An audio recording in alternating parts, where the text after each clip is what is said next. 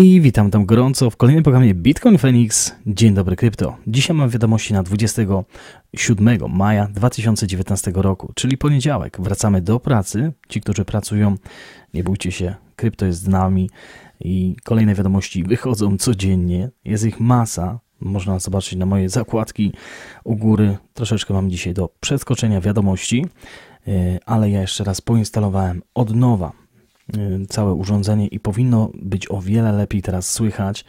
Y, nie za głośno, nie przesterowanie. Dajcie po prostu znać, czy jest lepiej niż z tej audycji y, z DaVinci chwilę wcześniej.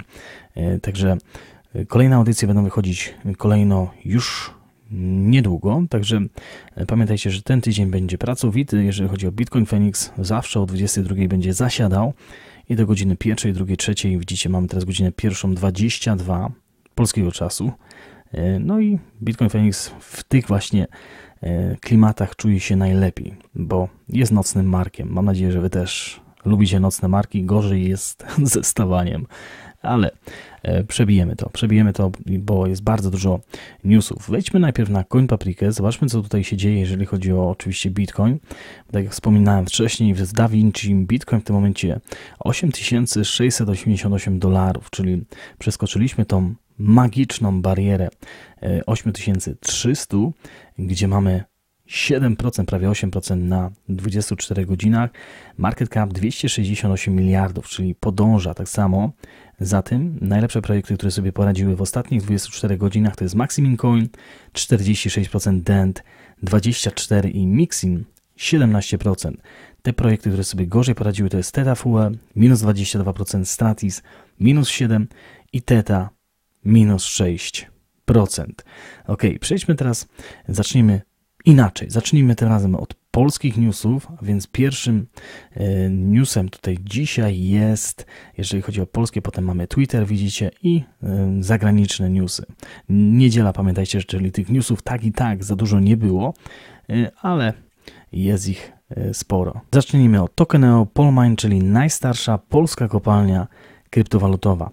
Pewnie każdy z Was ją kojarzy, może nie raz już z niej korzysta. Mowa oczywiście o Polmine. Była to pierwsza polska kopalnia BTC. Polmine była bowiem ósmą najstarszą na świecie i zarazem piątą pod względem wielkości. A co oferuje? Polmine, pierwsza kopalnia kryptowalutowa, oferowała na wstępie takie możliwości jak zwiększenie bezpieczeństwa poprzez dodatkowe potwierdzenia e-mailowe, SMS lub inne mechanizmy do przekazywania informacji. Zaktualizowała też takie mechanizmy jak Merger Mining, BTC i NMC. Ulepszyła tym samym mechanizmy BTC zarówno pod względem ręcznego dobierania trudności, jak i dynamicznego. LTC Dogecoin również zostały zmodernizowane, a przede wszystkim wprowadziła automatyczną zmianę LTC NMC Doge na BTC według kursu z BTC NMC LTC. A więc dlaczego upadła? W dużej mierze przyczyniło się to m.in. brak inwestowania przez państwo w prowadzenie badań na polu kryptowalutowym, nieskuteczna kooperacja między sektorem publicznym a nowo powstałym startupami bitcoinowymi też nie zachęcała inwestorów do rozwijania tego rynku w Polsce. Prowadzenie technologii fintech było skomplikowane i dość drogie dla osoby, która dopiero zaczęła swoją przygodę z sektorem bitcoinowym. Obecnie sytuacja wygląda jednak dużo lepiej niż w roku 2014 Paweł Drobek z udzielonym przez siebie wywiadzie stwierdził, że siła polskiego rynku jest determinacja. Dlatego właśnie dziś możemy się cieszyć z możliwości korzystania z elektronicznych środków płatności. Także widzimy, że była to ta najstarsza giełda Polmine. Nawet nie słyszałem o tym. Ciekawe, kiedy była założona, bo nie mam tutaj o datach. Jeżeli słyszeliście, dajcie znać może w komentarzach. Kolejnym tematem dzisiaj, który tutaj zrobimy jest Bitcoin.org 8800 dolarów. Bitcoin osiągnął nowe tegoroczne all-time high. Zobaczmy, co tutaj się dowiemy. W niedzielę 26 maja cena pierwszej kryptowaluty zaktualizowała nowe maksimum w tym roku. Udało jej się wzrosnąć w 2 godziny o prawie 800 dolarów i osiągnąć poziom powyżej 8800 dolarów. Tak więc na giełdzie Bitstamp o 22.05 czasu polskiego, czyli w niedzielę, Bitcoin osiągnął 8802 dolary, po czym skorygował do 8600. Kapitalizacja w tym samym czasie przekroczyła 152 miliony do, miliardy dolarów mm, na samym Bitcoinie. Warto zauważyć, że ostatni raz 8800 dolarów Bitcoin osiągnął ponad rok temu, 11 maja 2018 roku. Wow! Także mamy też tutaj świetne informacje. Teraz przejdźmy też do Bitcoin Cash, który jest rządzony przez dwóch górników. E, atak 51% na Bitcoin Cash, aktualizacja. Zobaczmy, co tutaj się wydarzyło. A więc e, największe pule wydobywcze BTC.com oraz BTC Top wywołały atak wielkościowy 51% na blockchainie Bitcoin Cash. Spowodowali ten atak, aby cofnąć podejrzaną transakcję, która miała miejsce w sieci Bitcoin Cash. Precedens ten nie cieszył się poparciem społeczności Bitcoin Cash, pomimo iż nie mieli złych zamiarów. Przejęcie sieci miało na celu cofnięcie transakcji dokonanej przez atakującego minera, który wykorzystał lukę w aktualizacji kodu podczas hardforku z 15 maja. No, czyli mamy podobną sytuację do e, DAO, który się wydarzył w Ethereum, widzę. Działania te polegały na przejęciu ponad 51% mocy obliczeniowej, które uzyskali w wyniku połączenia sił obydwu mining pooli. Ruch wiąże się z hardforkiem sieci, która nastąpiła 15 maja 2019 roku i wykorzystał ją atakujący miner. Osoba ta wykorzystała lukę w kodzie podczas hardforku, aby zabrać część monet dla siebie. Utworzenie podwalin pod atak wielkościowy pokazał, że sieć Bitcoin Cash leży w garści dwóch gigantów wydobywczych BTC.com oraz BTC Top. Ruch jest bardzo kontrowersyjny, gdyż pokazuje, że blockchain nie jest całkowicie niezmienny i zależy od wpływów uczestników sieci. Poniżej zamieszczamy wydobycie bloków sieci BCH, czyli Bitcoin Cash z ostatnich 7 dni. Jak widać na wykresie z portalu CoinDance górnicy BTC.com oraz BTC Top wydobyli łącznie ponad 35 wszystkich bloków, 35% wszystkich bloków. Na czym polega atak 51%? Atak wielkościowy 51% polega na przejęciu 51% mocy obliczeniowej sieci, dzięki czemu uczestnicy, minerzy mogą częściowo kontrolować transakcje na blockchainie danej kryptowaluty. Wraz z tym zabiegiem możliwy staje się tzw. Tak double spending, czyli podwójne wydawanie kryptowaluty. Powoduje to znaczące trudności dla sieci, szczególnie pod względem bezpieczeństwa, ale także zabicie zaufania w społeczności krypto. Zapewnia to atakującym niespotykaną moc i pomaga w wykonywaniu funkcji, które są zwykle niedostępne. W tym przypadku dwie pule górnicze próbowały przepisać historię transakcji w sieci, aby uniemożliwić minerowi uzyskanie jakichkolwiek monet. Jak informowaliśmy w styczniu 2019 roku, atak większościowy przeprowadzono na sieci Ethereum Classic. Zgodnie z analizą Coinbase ponad 220 tysięcy Ethereum Classic doznało podwójnego wydawania, a straty z tego ruchu oszacowano na około milion dolarów. Mamy też potem tutaj wpis z bitcoin.pl, w skrócie co się stało, a więc 15 maja doszło do aktualizacji sieci Bitcoin Cash. Już przed tym terminem na dużych giełdach zostały przygotowane shorty, których celem było udupienie kursu Bitcoin Cash. Liczono na spadki. 15 maja lub nieco wcześniej ktoś wysłał monety na adres Segwit w sieci Bitcoin Cash. Warto zaznaczyć, że sieć Bitcoin Cash nie obsługuje Segwit, ale deweloperzy dodali w 2017 roku zabezpieczenie umożliwiające odzyskanie monet, jeżeli ktoś błędnie wyśle monety na adres Segwit. Ktoś, jakiś duży miner, spróbował ukraść te monety. Minerzy z pola BTC Top zauważyli próbę kradzieży błędnie wysłanych monet na ten adres, po czym przekierowali te monety na odpowiedni adres docelowy Segwit. Monety są do odbioru przez ich prawowitych właścicieli, którzy posiadają oryginalny adres odbioru gotówki. Powyższe zaskutkowało dwublokowym reorgiem sieci Bitcoin Cash, który teraz no, tłumaczą debilnie, jak tutaj ktoś nazwał, od propagandy, nazywałem je 51% atakiem. Po 15 maja została uruchomiona gigantyczna machina propagandowa połowa ruchu na największym forum BTC, to aktualnie boty. Minerzy z sieci Bitcoin Cash ochronili kogoś przed stratą pieniędzy. Cała akcja była ustawiona, atak na cenę nie udał się, atak na sieć nie udał się, atak propagandowy właśnie trwa już jest widoczne, że przeciwnicy wolnej gotówki peer-to-peer dla całego świata się nas boją. Ich argumenty robią się coraz bardziej e, no, nieciekawe, nierealne i dotyczą coraz większych no pierdół. PS. Miałem w ogóle o tym nie pisać, bo ten atak jest niewyobrażalnie kretyński obraża moją inteligencję. No ale oczywiście ktoś musiał tutaj wstawić tą debilną informację, więc wypadałoby naprostować. Naprawdę szkoda mi czasu na prostowanie takich oczywistych bzdur, że też nie ma nikogo innego na tym forum, kto by zrobił to za mnie. A poza tym uważam, że Bitcoin Core, Segwit i Lightning Network powinny zostać zniszczone. O, zobaczcie, ktoś tutaj podobnie myśli jak Bitcoin Phoenix. Fajnie. Potem mamy dwublokowe reorgi, zdarzają się od czasu do czasu w sieci BTC, jak i Bitcoin Cash. Jest to normalne zachowanie sieci. BTC miał 30-blokowy reorg ostatnim razem, jak był poważny bug w kodzie. Tylko zapomniałem w którym roku. W tym przypadku minerzy zrobili reorg ze względu na próbę kradzieży, ale minerzy mają prawo wybrać, na którym łańcuchu będą budować. PS, zaraz znajdę, z którym roku był ten reorg. Mam, czyli w 2013 reorg długości 24 bloków, rozpoczynający się od bloku 225 430. Przez 6 godzin sieć była podzielona na dwa łańcuchy. To nie jest oczywiście jedyny reorg, było ich kilka, ale ten najłatwiej znaleźć na Google. Także widzicie, e, zawsze można zrobić e, w każdym, czy to jest e, powiedzmy projekt Bitcoin Cash, Bitcoin SV, czy nawet BTC w wcześniejszej dacie to było o wiele bardziej możliwe. Teraz oczywiście społeczność wychodzi z takimi akcjami. Od razu dodaje to kolorytu, dlatego jeżeli ktoś chce tak zrobić, no niedawno mieliśmy sytuację z CZ Binance, który chciał zrobić podobną sytuację i widzieliście jak to się skończyło, dlatego ja uważam, że y, zawsze powinna wziąć na siebie odpowiedzialność osoba, która wysłała na złe adresy Segwit te coiny. Jeżeli ktoś już chciał się wkraść, wtedy y, no po prostu no tak się dzieje. Nie można dla mnie, dla mnie przynajmniej, nie, nie wydaje mi się, żeby można było cofać bloki ze względu na to, że chcemy uratować komuś pieniądze. Nawet jeżeli to bym był ja. Uważam, że powinno to być niedostępne i mam nadzieję, że w przyszłości jeden z tych projektów będzie właśnie tak się zachowywał, że nie będzie to możliwe.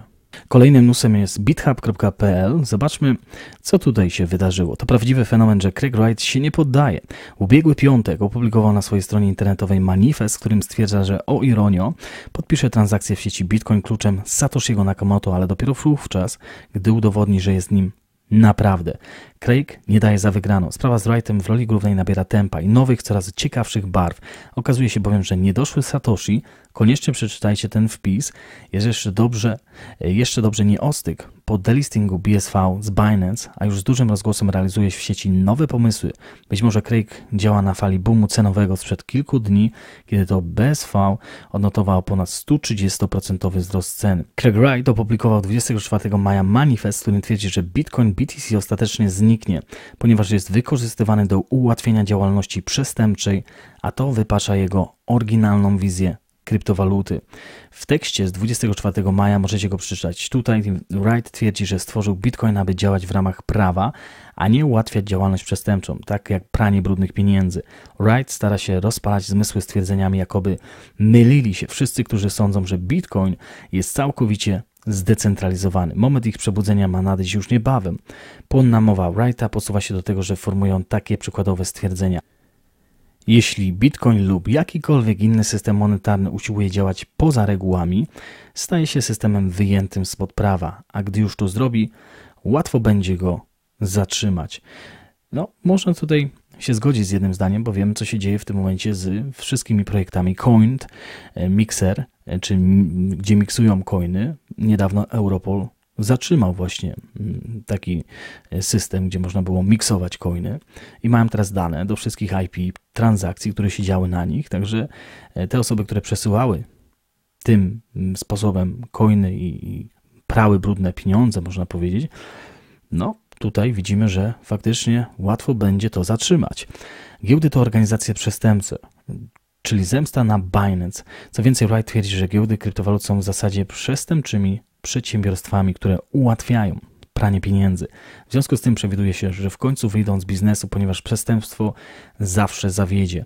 W szczególności Wright oskarżył Binance i Bitfinex o okłamywanie swoich klientów, gdy twierdzi, że są zdecentralizowani. Mówi, że nie są. Wright wyjaśnił również, że jedynym powodem, dla którego ktoś chce zdecentralizowanej platformy finansowej jest to, że mogą go używać do ukrywania lub prania pieniędzy. Grupy takie jak Binance, które starają się ułatwić pranie pieniędzy i przestępstwa, zawsze zawodzą. Oszukują cię, mówiąc, że są zdecentralizowane i nie można ich kontrolować. Gdy ci u władzy są w stanie zmienić protokół, mogą zmienić życie i finanse osób zaangażowanych w system w sposób arbitralny. Dlatego BTC nie jest bitcoinem. Bitcoin ostatecznie zniknie. Wright dalej twierdzi, że ponieważ Bitcoin został zmanipulowany, ostatecznie zniknie. Ostrzega, że stanie się to błyskawicznie, czyli tutaj powinno się znaleźć nie Bitcoin, tylko BTC e, ostatecznie zniknie. Tam, gdzie blockchain nie przestrzega zasad, rządowi łatwo ich się zatrzymać. Kiedy akcja się wydarzy, tak jak w przypadku eGold, wszystko zainwestowane w system zniknie w mgnieniu oka. Gdy BTC zniknie, nie zniknie powoli, zniknie natychmiast. Podpiszę, podpiszę. Chyba największym paradoksem w tekście Wrighta jest obietnica, że podpisze transakcję Bitcoin kluczem Satoshi Nakamoto, ale dopiero wtedy, kiedy udowodni, że naprawdę nim jest. Co myślicie na ten temat? Przyznam szczerze, że trochę się obawiam lawiny komentarzy, która nastąpi za moment. Hmm, zobaczmy, jakie mam komentarze, aż mnie ciekawi.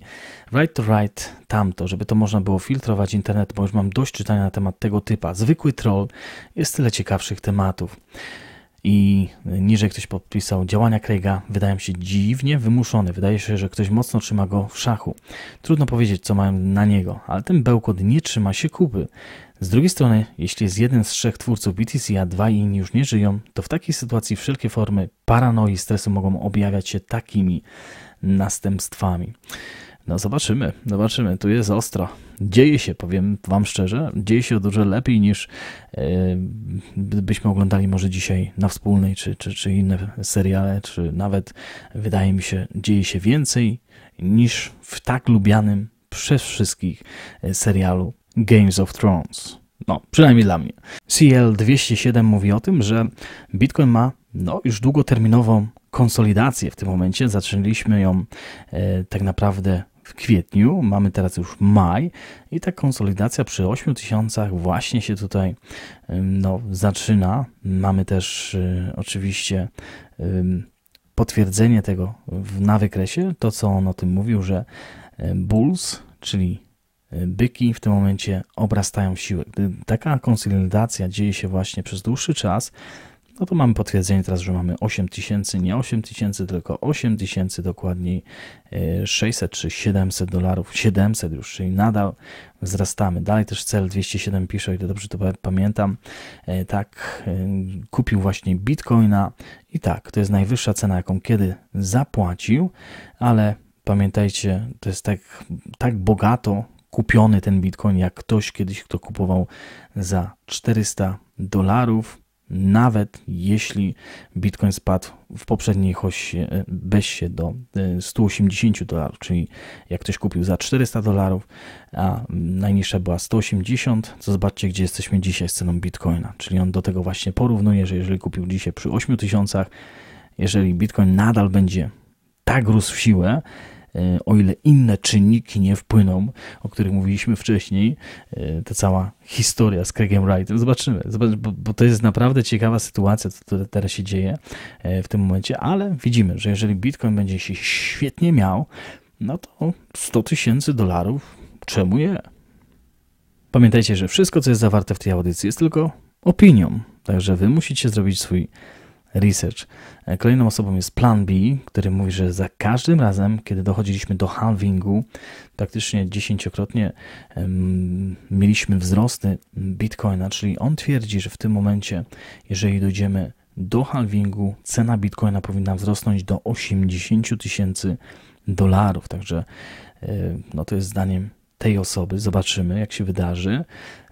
W tym momencie też mamy Whimsical Wipes, który mówi o tym, że e, kocha Binance i CZ Binance, bo porównuje go do Amazona, że robi sobie po prostu monopol na to, żeby e, no, być w krypto, mieć monopol na wszystko, czyli mamy giełdę, mamy zdecentralizowaną giełdę, mamy IEO, mamy do tego jeszcze mm, dźwignię, e, która lada chwila będzie dostępna i, i, i inne nowe rzeczy, które będą się oczywiście Binance Chain tak samo Także monopol i porównuję tutaj do Amazona mm, i że to jest podobne inwestowanie. Tylko pamiętajcie, że inwestowanie w Amazonie to mamy na poprawnej giełdzie, gdzie mamy equity, e, czyli inwestujemy w Amazona, w firmę, a tutaj mamy token, który no, jeżeli w przyszłości się przeradzi, że inwestujemy w część zarobków Binance, to świetnie. Na razie to jest bardziej spekulacyjny rynek i też trzeba wziąć to pod uwagę, że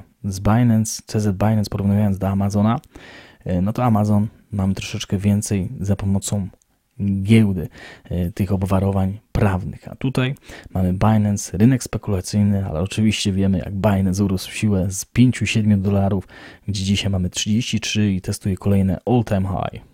Crypto Base zapytał, jaka jest maksymalna taka cena bitcoina, która jest w, w ramach zasięgu yy, racjonalna. O, jaka może być taka racjonalna w przyszłości.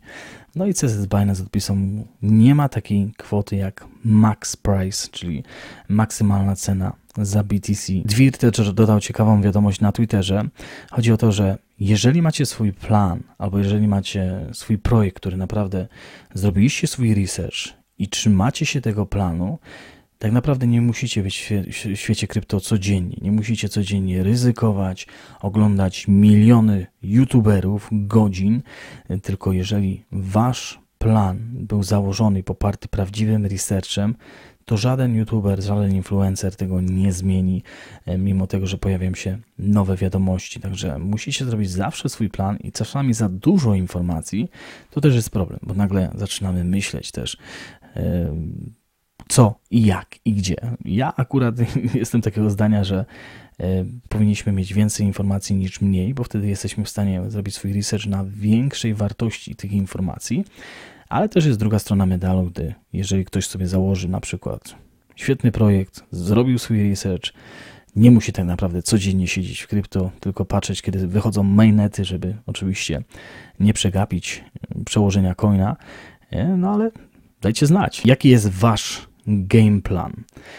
Kolejną wiadomością jest The Crypto Dog, który mówi, że te osoby, które nazywane są teraz głupcami e, w bull markecie, zarobią o wiele więcej pieniędzy, e, pieniędzy niż e, tacy inteligentni, inteligentne niedźwiedzie, którzy próbują kupować na mm, spadkach czy korektach. Jest coś w tym faktycznie, bo dzisiaj widzimy, że mamy 8600, 8700 i Bob Lucas chyba o tym mówił, tak? Ostatnio w tej audycji o cyklach ostate, ostatniej w kryptoporadniku, gdzie mieliśmy, gdzie też opowiedział o tej podobnej sytuacji. Mike Dudas przypomina o tym, że jeżeli dajemy swoje informacje do scentralizowanych baz danych, takich jak na przykład jest Google i myślimy, że nasze dane są bezpieczne, to przypomina o tej e, akcji, gdzie w 2000 2005 roku pojawił się błąd, no i Google przechowywał bardzo dużo no, danych użytkowników po prostu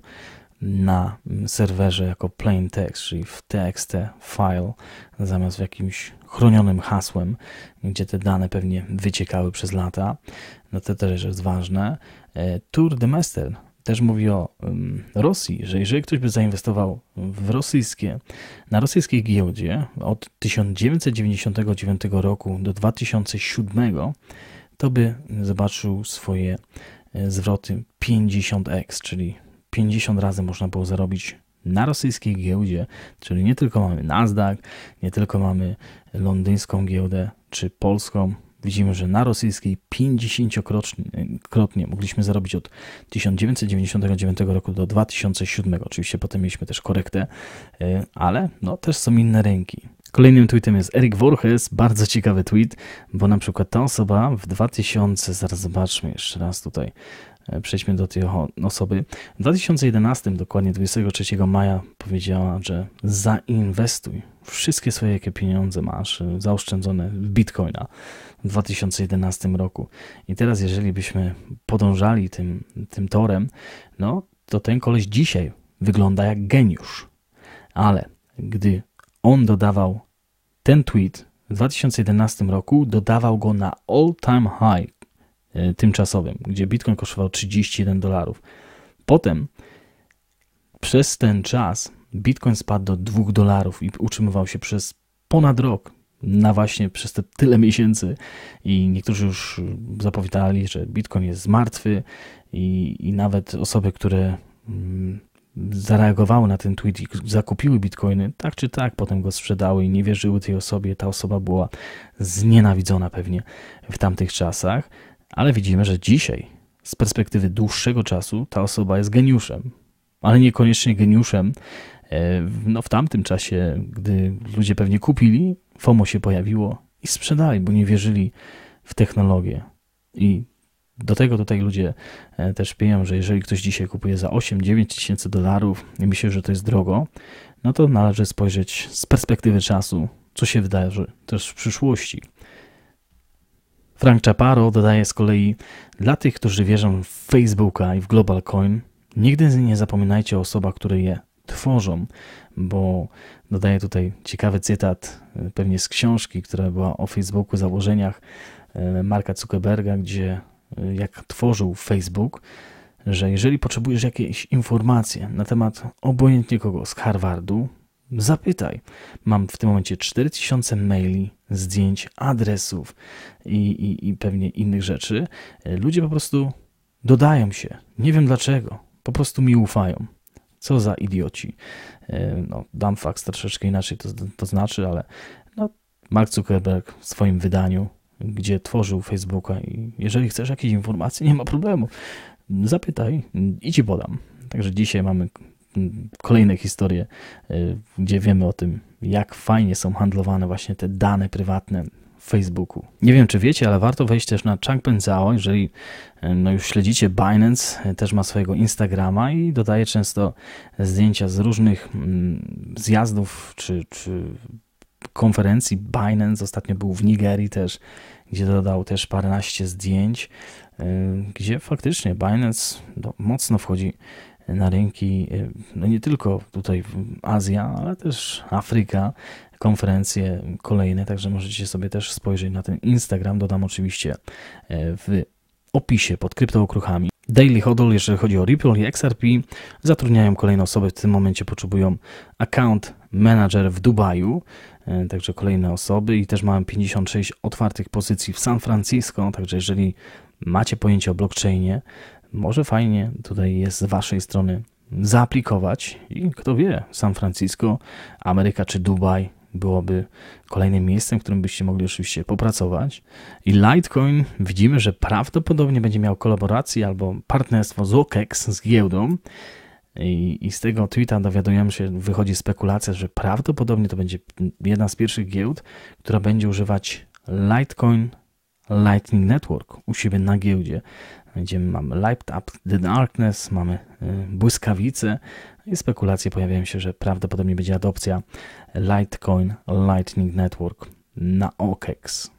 Stellar, kolejny stablecoin pojawi się na Stellarze, tym razem Paycent, tak będzie się nazywał ten stablecoin, y, który będzie zbudowany bezpośrednio na stellarze i będzie po prostu używany do tego, żeby bezpośrednio, bardzo szybko e, w czasie rzeczywistym przesyłać właśnie tego stablecoina, czyli kolejna tutaj adopcja Stellara.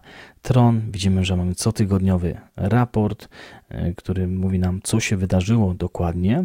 No jeżeli chodzi o Monero, będzie przejście na nowy e, Proof of Work algorytm, który będzie też wydany na Monero. The Daily Hodder dodaje też wiadomość, że można sobie kupić taką ciekawą posiadłość, gdzie ona jest w Montrealu, czyli dokładnie Boromont w Kanadzie, bardzo blisko Equestrian Park. Za 700 tysięcy dolarów można używać kryptowalut Bitcoin, Ethereum, XRP, Litecoin i EOS. Jeżeli macie oczywiście gdzieś tam zaskórniaki na kwotę 700 tysięcy dolarów, zobaczcie jak świetna e, miejscówka z basenem, z basenikiem możecie sobie do Kanady podjechać. Niedaleko macie też oczywiście Niagarę, możecie oczywiście mm, sobie tutaj spojrzeć z innej strony. 700 tysięcy, macie jaki wjazd praktycznie przy drodze. No troszeczkę tutaj z zakupami by było ciężko podejść pod tą górę, ale dowożą na miejsce, także nie ma problemu. CCN dodaje ciekawą wiadomość, że Satoshi Nakamoto. Dzisiaj ciekawie, bo akurat miałem spotkanie z rodziną i ktoś w rodzinie ogląda e, ten serial na Netflixie o, o Pablo Escobarze, e, który leci, podobno świetny jest. E, to nie mam czasu na serial, podobno świetny i wchodzę wieczorem i, i, i czytam o Escobar Family. Aż ciekawie, a więc o co tutaj chodzi? A więc wszystko zaczęło się w lipcu 2018 roku, gdzie miesiąc wcześniej powsta, powstał Coin Legal Ltd, zarejestrowany w Wielkiej Brytanii i, i miesiąc później, w lipcu 2018 roku, e, ktoś tutaj wysłał aplikację o Bitcoin Trademark, czyli że po prostu tylko oni będą mogli się posługiwać praktycznie słowem Bitcoin. I widzimy z tego, że wcześniej należało to do rodziny, to słowo, do rodziny Pablo Escobara, czyli Satoshi Nakamoto, tutaj brata dokładniej, który nazywa się Roberto de Jesus Escobar Gaviria, czyli brat Pabla Escobara. I w momencie, kiedy oni zaaplikowali, e, czyli no, włożyli aplikację do tego, żeby przejąć słowo Bitcoin, ta druga osoba, która miała wcześniej prawo do tego słowa, rodzina, miała 6 miesięcy na odwołanie się do tego. No i się nie odwołali w tym czasie. To został wysłany oczywiście list do tej drugiej strony. E, no i wtedy, jeżeli ta druga strona się nie odzywa, to prawnie przechodzi ta nazwa do mm, Craiga Wrighta w tym momencie, który wystosował e, tą aplikację. No i widzimy dokładnie, co on będzie tutaj, e, do czego będzie używane to słowo, czyli mamy finansowe serwisy, które będą używane oczywiście w Global Computer Network, czyli na komputerach, na, w sieci globalnej, na kryptowalutach i digital currency, to słowo będzie nie mogło być używane przez inne osoby, czyli praktycznie ponad 2000 coinów nie będą mogły używać, jeżeli to będzie prawnie oczywiście, słowa Bitcoin, jeżeli to będzie na, należeć do Craiga Wrighta, także dzieje się, ale aż zdziwiło mnie to, że ta nazwa należała wcześniej do rodziny Escobara. Czyli widzimy właśnie ten list o patent do słowa praktycznie trademark office, czyli do słowa bitcoin. E, no i zostało to wysłane 21 listopada 2018, 6 miesięcy nikt się nie zgłosił. Czyli może to jest ta wiadomość, która popchnęła dzisiaj 15% Bitcoin SV, kiedy ona wyszła 26. No to też może być ta wiadomość, która popchnęła Bitcoin SV powiedzmy o 15%. Ale widzimy też, że to słowo Bitcoin należało tylko przez 4 miesiące faktycznie do rodziny mm, brata Escobara y, albo do Roberta Escobara, więc y, no, długa historia, długa historia. Będziemy na pewno update'ować, co tutaj się dzieje w tej sprawie. The Daily Hodl dodaje wiadomość też o dwóch nowych instytucjach, które prawdopodobnie będą używać XRapid. Jednym z nich jest Thailand Siam Commercial Bank, który dodaje, jak ktoś się zapytał, czy będą używać XRP, ktoś dodał, czekajcie na nasze kolejne obwieszczenia, czy informacje, które będą w przyszłości. Na razie używałem Xcurrent, ale obiecująco to wygląda, że po prostu nie zaprzeczyli. A drugą, która jest bardziej tutaj potwierdzona, to jest e, Wielka Brytania i MoneyNet Int, którzy będą używali właśnie e, XRP zamiast prawdopodobnie na tej swojej giełdzie. Więc widzimy, że kolejne mm, podmioty bardzo łatwo tutaj się podłączają i może w przyszłości będą zmieniać faktycznie na XRapid, na przykład z Xcurrent. A jeżeli macie Tesla, no to możecie za pomocą Wallet Connect, OnTrust, e, czyli krypto portfela można używać i tradować Bitcoina prosto z panelu e, Tesli. Już nie trzeba otwierać mobilnego urządzenia. Spokojnie wchodzicie do Tesli, od razu kupujecie, sprzedajecie Bitcoiny i pewnie inne kryptowaluty. A w The Japan Times czytamy o tym, że mamy używać słowa nie Satoshi Nakamoto, tylko inaczej, jak tutaj oni to chcieli, e, a więc pamiętamy, że najpierw się czyta nazwiska w, e, w Japonii i tutaj mm, życzą sobie, że skoro to jest japońskie nazwisko, prawdopodobnie Satoshi Nakamoto, to powinniśmy czytać odwrotnie. Nakamoto Satoshi żeby po prostu być fair w stosunku do Japonii i jej kultury. Nie ma w tym artykule nic słowa o Satoshi Nakamoto, ale ktoś tutaj na Reddicie dodał oczywiście, że skoro chcą te nazwiska, no to połączyli oczywiście Satoshi Nakamoto i skoro prezydent chce takiej zmiany dla międzynarodowych mediów, żeby tak używali ze względu na ich kulturę nazwisk, najpierw nazwisko, potem imię, no to od razu ktoś tutaj podłapał i będzie Nakamoto Satoshi. Jeżeli chodzi o DAPy, nadal wygrywa w tym momencie EOS. Najwięcej ma w tym momencie e, także DAB Review. Dodaje wiadomość, że 16 milionów dolarów wartych jest w EOSie, które no, podążają w DAPach w tym momencie. W ostatnich 24 godzinach z 123 tysiącami aktywnych użytkowników ponad. E, także na pierwszym miejscu jest EOS w tym momencie. Ok, przejdźmy do youtuberów z ostatnich 24 godzin. Zobaczmy, kto tutaj się ujawni w ostatnich 24 godzinach. Mike Satoshi, kryptowalutowa niedziela z Mike'iem, odcinek 57. Dostałem zaproszenie, ale nie dojechałem na czas, e, niestety. E, jeszcze dzień temu Newsflash, Pirate Chain, e, gdzie dodany do giełdy Trade Ogre i kryptonewsy też wcześniej były odcinek 128. Tuż za nim jest, no zobaczcie, kryptokamikadze, kryptokazanie, przeciwnicy Bitcoina i kryptowalut robią inaczej niż mówią. Zobaczmy, kto jest jeszcze dalej. A więc mamy też, o ile dobrze tutaj widzę, Hashit, jak zainstalować portfel Nexus pod PEOS, Hashit dokładniej.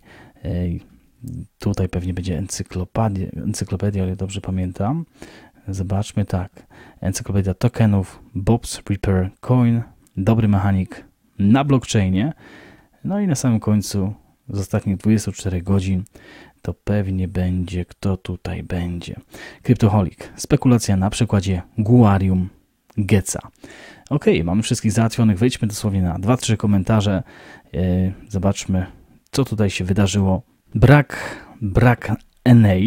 Trochę dziwak z tego Craiga, a z drugiej strony ogarnięty jest, ale wygląda jakby coś kręcił. Jakoś nie mam do niego zaufania, co nie znaczy, że nie może być twórcą BTC. No, ciekawie, ciekawie.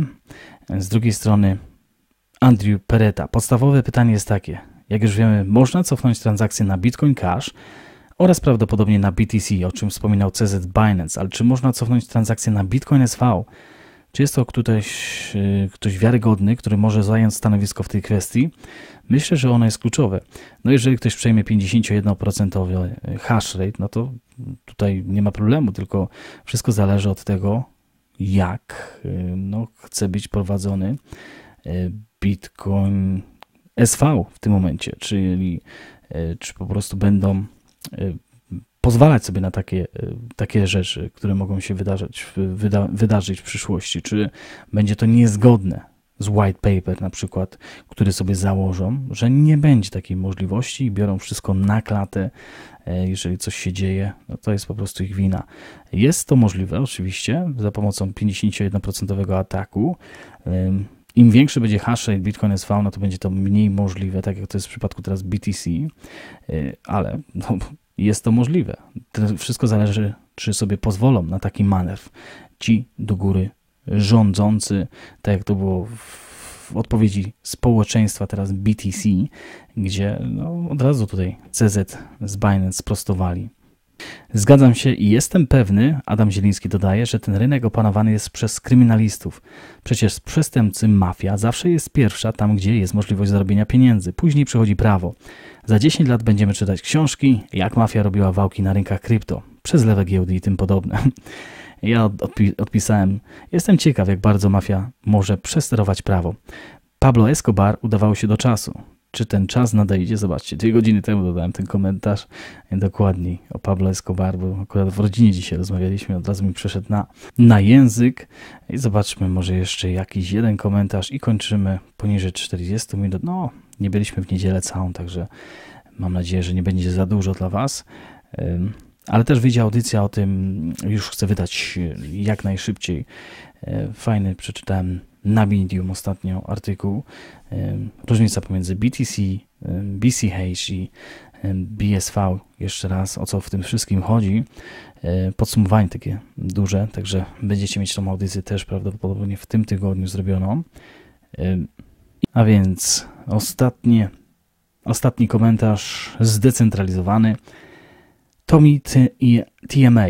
E, Feniu, jesteś najlepszy, oglądam wszystkie Twoje audycje, są po prostu super, a najbardziej wróżenie z fusów. Krótko mówiąc, czekam na spadki, bo chcę kupić bitcoina. W ostatniej Twojej audycji zrobiło się bardzo ciekawie i zastanawiam się, czy jednak się to zdarzy.